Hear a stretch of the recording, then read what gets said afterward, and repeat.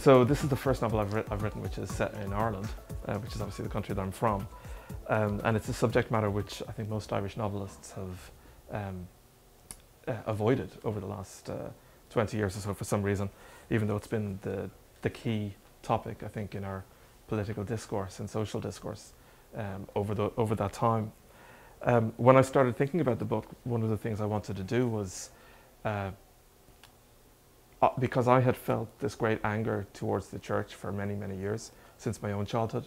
Um, I felt that uh, if I wrote just a diatribe, it wasn't going to be very interesting. It was just going to be a boring, um, obvious book. So I, I, thought what I would try to do is think of a narrator who uh, had, has tried to live a good life, has, has tried to do the right thing, uh, and has got to an advanced age and realizes that the institution to which he has given his life and his time um, has betrayed him as much as anybody else. Um, it started out like that, of course. The narrator becomes a little unreliable uh, eventually because one of the main themes of the book and of this whole story is the complicity of those priests who did not commit criminal acts but who were aware of things that were going on and uh, did nothing about it, didn't say anything, didn't do anything. So I'm just going to read a, a, short section that takes place in uh, the, the novel moves back and forth through time uh, from the 50s or 60s to today. Uh, and each chapter goes a different part of the narrator's life. And um, this part, though, takes place in 2012, after all the court cases have begun, and after uh, the, the country has really changed and the authority of the church has gone, and all those victims are, are speaking out for the first time. So this takes place when um, the narrator, Father Odran Yates, goes to the Four Courts in Dublin to hear a um, to witness a trial. And he goes into the trial. He can only stay a few minutes because he's, um, it's, too, uh, it's too upsetting for him. So he goes outside and he sits in, in the round hall, and this is what happens. Despite the number of people lingering under the circular dome, making their way in and out of the other three courtrooms where different cases were being heard, I felt that I could breathe out here and was not yet ready to make my way through the reporters and photographers still gathered on Inns Quay. I made my way to one of the benches at the side, sat down next to a woman on her own, and bent over a little, my head in my hands. What kind of life was this, I wondered? To what sort of an organisation had I dedicated my life? And even as I searched for blame, I knew that a darkness was stirring inside me concerning my own complicity, for I had seen things, and I had suspected things, and I had turned away from things, and I had done nothing. A hand touched my arm, and I almost jumped off the seat in fright, but it was just the woman seated next to me. She had a tired expression, and not a hint of a smile on her face. I thought she was going to say something like, Are you all right, father? But instead, she just stared at me. I knew I recognized her from somewhere, but I could not say where. You're Father Yates, aren't you? she asked me finally, her voice low and quiet. That's right, I said. Do I know you? You do, she said. Do you not remember me? I shook my head. I do and I don't. I said, You look familiar, but I can't place you. Kathleen Kilduff, she said, and I closed my eyes. Mrs. Kilduff, I said meekly. We met in Wexford in 1990. You were down visiting your pal. I was the fool who was delivering her son into his hands every week for an hour. Of course, I said, I remember you now. And you remember Brian too, don't you? I do, I said, I remember Brian. Did you feel good about yourself reporting him like you did? You know the Gardaí scared him half to death when they interviewed him about the damage he'd done to that monster's car. I'm sorry, I said. I didn't know what to do at the time. I thought maybe there was something wrong with the boy. I thought that if Tom knew, maybe he could help him. Oh, he helped him all right, she said, laughing bitterly. Sure, didn't he go to the Gardaí and tell them that if they just cautioned the boy, he'd see to it that he never did anything like that again? And then he persuaded me to send Brian in to him Mondays, Wednesdays, and Fridays, three days a week for an hour every time. And of course, I did what I was told. Brian, she added, my little lad, who never did a bit of harm to anyone in his life.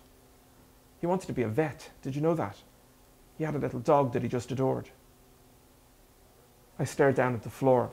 When I told that story earlier, when I told you about 1990, did I mention that I took what I had seen and reported it to Tom the next morning, and he called the Gardaí? And that I had told them what I had seen, identifying the boy in his own house later that same day. Perhaps I didn't. If I didn't, I should have. Anyway, here it is, out in the open now. Mrs. Kilduff, I said, uncertain what I was going to say next, but she interrupted me. Don't say my name, she said, and get off this bench right now. I don't want you sitting anywhere near me. I nodded and stood up, turning to walk away, but before I could, I thought I should at least say something to try to atone for what I had done. I hope Brian is doing all right, I said. I hope he's found a way to cope with whatever happened to him. She stared at me as if I was deliberately insulting her. Are you trying to hurt me? She asked. Is that what you're doing? Are you deliberately trying to be cruel? No, I said quickly, failing to understand. I only meant, Brian is dead these last 15 years, she said. He hanged himself in his bedroom. I went up one day after school to fetch him down for his dinner, and there he was, his little legs dancing in the air, the poor dog staring up at him, not knowing what to do. He killed himself. So tell me now, are you proud of yourself, Father? You and your pal in there. Are you proud of yourselves? Of all the things you and your pals have done? Do you even care? Okay, I'll do it. So I don't know if you'd like to ask anything. If you would, um, I'd be happy to answer. Uh, what's what's it like now for the church and the priest who are active? In, in Ireland now, Yeah. um, it, it's very different because for years, you know, at, at its height, there was about 17, 1800 uh, vocations every year.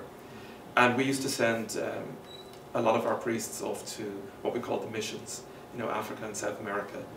And now there's about three vocations every year. So Ireland has become the missions, and priests come from other countries to Ireland. And it's very hard, naturally enough, it's very hard to get young people to go into the church because why would they? They're, they're being cut off from so many of the you know, important aspects of life. Um, you know, the very drives that, that are, are a big part of our, our, ourselves as, as human beings.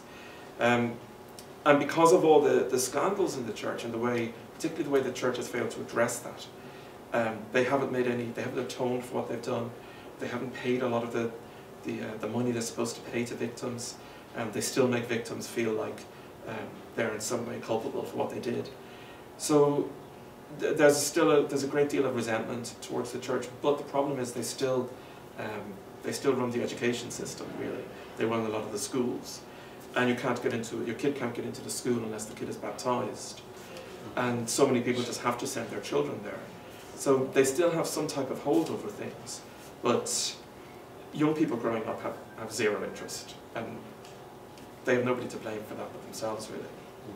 You know, one, one thing I really wanted to ask you is I read that really nice piece you wrote in The Guardian, um, I guess right as the, as the book was released. And um, you talked about how you, um, you really wanted to try to paint a full picture of the priests. You didn't want to just create monsters, obviously.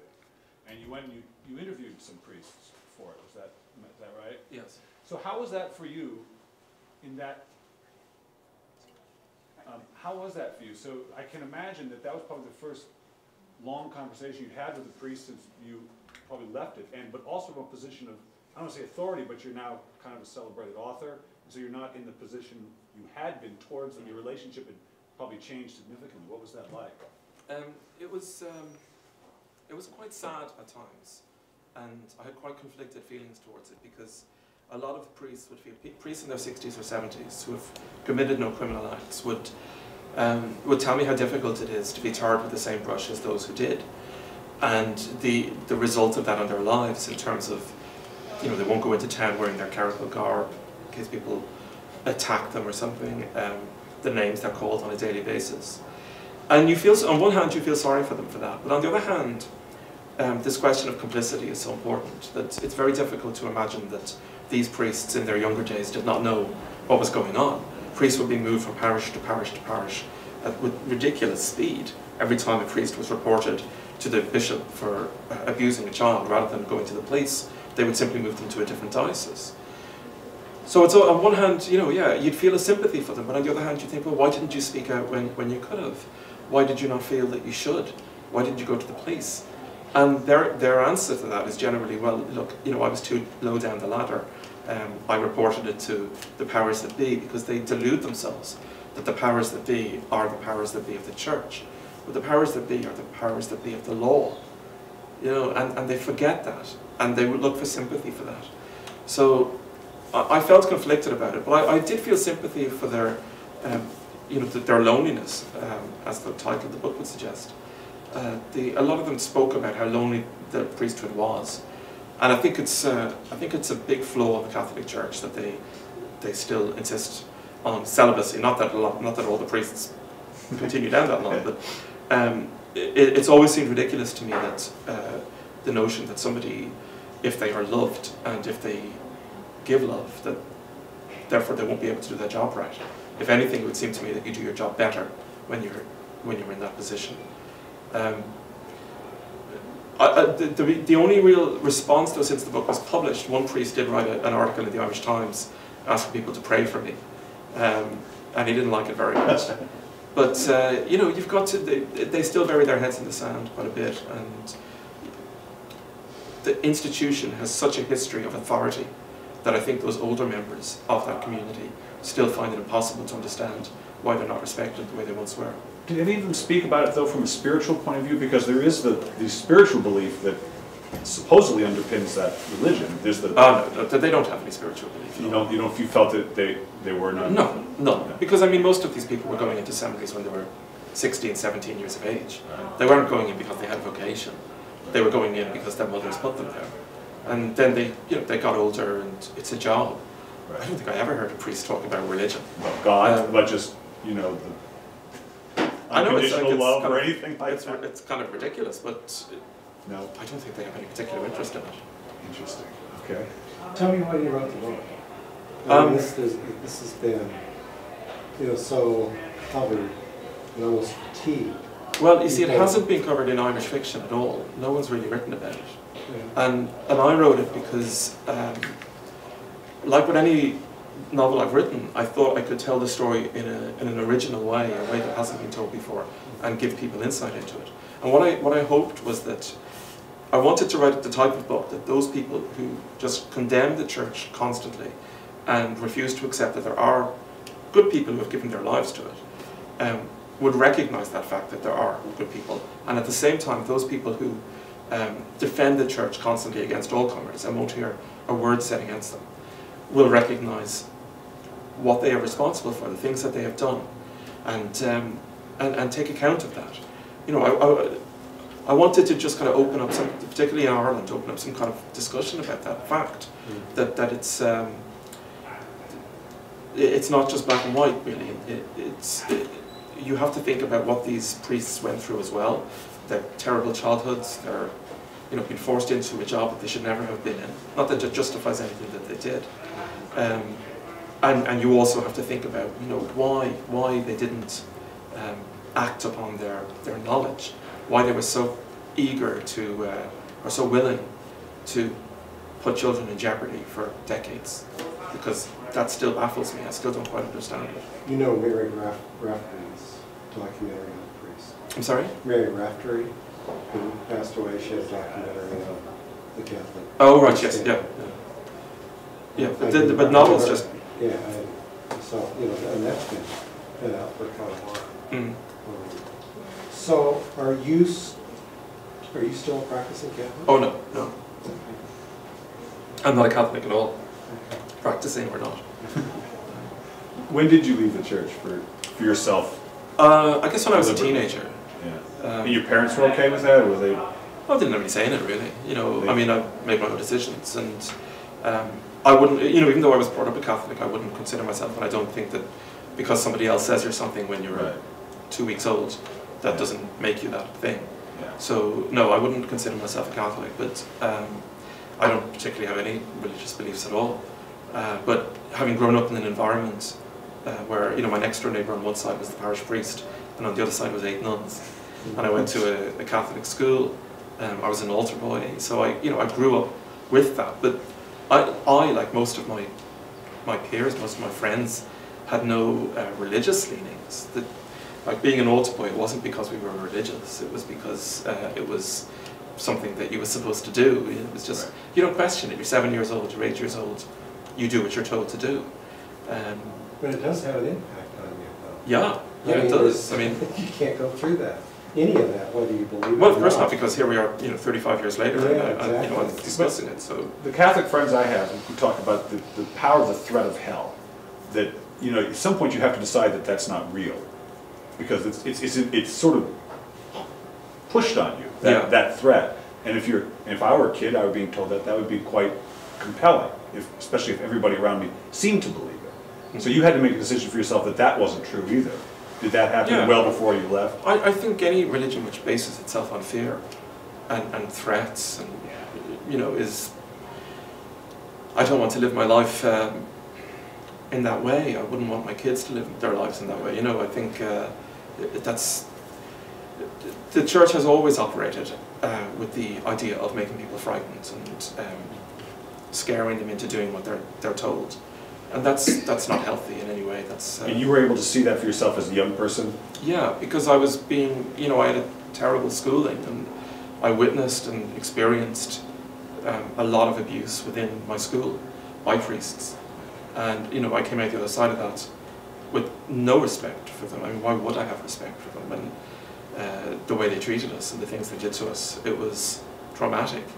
And it made me and many other people find it very difficult to go through um, our lives, our adult lives as we started out with very difficult to form healthy relationships, very difficult to um, be, you know, be calm and measured about the world because you know, childhood is the most important time in your life. Your whole adulthood is defined by the things that happen to you in childhood, and if bad things happen to you, you um, you will struggle to move past that ever. So there was no way I was going to come out of the school that I went to with the experiences I had and feel anything but contempt for those people. But I had to set that aside as a novelist and say, right, I'm, I'm writing a story about somebody who has not done that. I have to challenge myself to find good where I have only found evil in the past.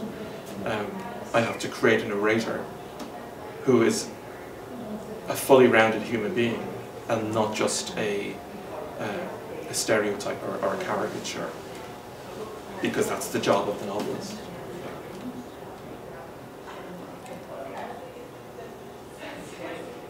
Okay, well look,